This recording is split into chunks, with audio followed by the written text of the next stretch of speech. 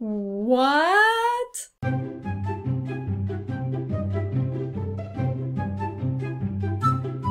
Hey rabbits, it's Trixi and today I want to try to answer the questions how do Germans or Europeans see Americans? In this video I want to mention some major differences that I sense between Europeans and Americans. And no, I don't really want to talk about the typical stereotypes. All Americans are fat and everyone owns a gun. There are definitely enough videos of this kind out there. Instead, I want to base this video on my personal impressions, on the influences that I as a German get from the media or from movies. What may people think about America who never actually went there themselves and are only affected by what they hear and see from far away? Just be aware that all of the things I'm going to mention are highly biased. You know, without beating around the bush, I'm just going to tell you my first associations, the one that come to my mind which by the way does not mean that I actually believe that. I purposely avoided doing research on the aspects I'm going to mention, because what I'm targeting in this video are exactly those half-truths about America, because that may be what you have on your mind if you don't question things. Of course, no offense intended. I mean, let's be honest, we all fell for some sort of stereotype already, without being too critical about it. We don't research on everything we hear on another nation. We are subconsciously manipulated all the time in lack of own experiences. So the purpose of this video is to raise awareness of how Europeans, or well, Germans, may seem America if they don't do educational research or have been there themselves. It may be a chance for Europeans to rethink their view on America and also an opportunity for Americans to work on their image if they don't like what they hear.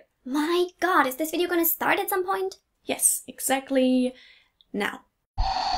The first aspect that hits me when I think about how Americans appear to me are the impressions that I get from watching American YouTubers. Compared to other European colleagues, I feel that Americans are a bit more superficial, loud, and over the top. Hey guys, it's me, Cindy, and today we are gonna experience something amazing together! The volume and this excitement are just a bit too much for me sometimes. They seem like they want to jump out of the camera right towards me and eat me or something like that. Everything is awesome and sunny and shiny and great. But let's face it, we are not all enthusiastic and happy all the time. Why would I scream opening a box of makeup or something like that? I know it's all for the show and it's cool to watch these extreme emotions. And there are actually more and more European YouTubers trying to do the same thing. But I still feel that this comes from America and we are only trying to copy that. And you know, I also have the impression that this small talk thing is not only limited to YouTube videos and you know, presenting yourself online. It seems to be a social thing as well. All the times that I spoke to Americans in my life already, be it via Skype or just in an email, these people were so super nice. You get this feeling that life only consists out of balloons and cupcakes. So in general, I think that Europeans, or at least Germans, tend to talk a bit more about severe things and realistic topics. Sure, we also have small talk, but it's not quite the same. It's, hey, how's it going? And you know, there's like a 30% chance we actually care, while Americans hug and kiss and ask you, hey, what's up? Long time no see, it's amazing to be here. I don't even know what to say about that, whether or not the American way is the better way or I prefer the European one. I just feel it's very different. The American way may be a bit fake, but also very warm-hearted and nice. The European approach seems a bit colder to me, but also slightly more authentic. So far that was a pretty harmless topic to start off with. But let's take this whole superficiality aspect on another level. If I just listen to my guts and share my first associations with you, I would say that Americans, for example, care more about status symbols. A huge car, a big house, a beautiful wife. I feel like it matters slightly more to them what others think of them. If I, as a German, trust all these media and movie sources without questioning them, then it may appear to me that Americans care a lot about being famous and rich and liked. You know, that career and status and money matters a lot to Americans. And also that they're not ashamed to brag about it. Little reminder, this does not mean that I actually think this is true. It's just something that I heard or saw more than once in my life, and I feel that this is something that many people may believe in. That's something that you usually don't hear about Europeans, I would say. They also care about career, but they seem more focused on themselves instead of on others. And then there is this plastic surgery thing. I feel like, at least in Germany, this topic is not that common. I literally don't know anybody who did plastic surgery. And from my friends, I know that most of them wouldn't consider it. In America, however, it seems to be less of a taboo topic. My totally untrustworthy impression is that Americans get more plastic surgery done. It also pretty often happens that some of them go overboard and you see these women with super huge lips. And you know, these people that are Botoxed and lifted so that they cannot blink anymore. So is that something that you find more often in America than Europe or especially Germany?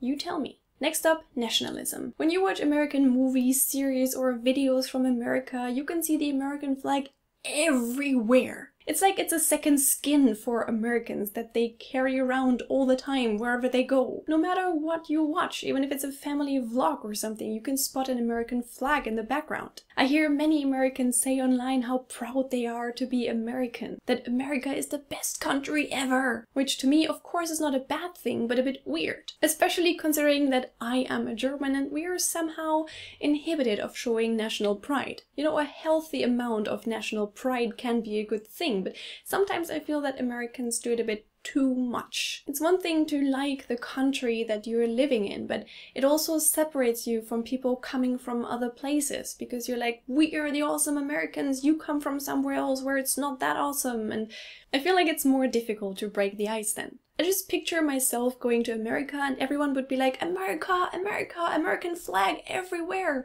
I would feel a bit excluded. So it's kind of cool on one hand and a bit negative on the other hand to me. We had superficiality, we had national pride, so let's talk about people being a bit more extreme than in other nations. Whenever I watch an American movie or even just an American YouTube video, I feel that everything is more colorful. People don't seem to be afraid of showing bright colors and super amazing effects every five seconds. Many movies are action packed, or you have these super silly, cheesy romantic movies, or it's like super dramatic, super sad. To me, it seems like the premise of every American movie is make people talk about it. Be it because it's actually super epic, a little bit politically incorrect, or super, super bad. It's difficult to make a transition here, but I feel that not only concerning movies, everything has to be bigger, faster, more expensive, richer, more successful. This is really not meant as an offense, but American people sometimes seem a bit more freaky and hysterical to me. They seem to be less afraid of being who they are, of dressing how they want, of dreaming big. While my parents would have told me, yeah, Trixi, you know, being a superstar may sound like an amazing job, but